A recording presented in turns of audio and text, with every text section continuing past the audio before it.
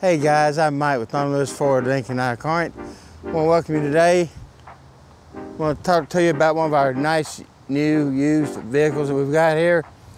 This is a 15 4Runner Toyota. It's a great car. Just traded for it last weekend. This car's got 64,300 miles.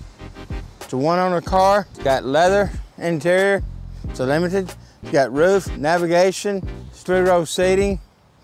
So it's great for the family. They're great vehicles. This one is four wheel drive. Got the all weather mats on the interior. Got very attractive wheels. Got your rails on the top. It's loaded out, guys. Come by and see us. This vehicle, you can own it today for $29,563.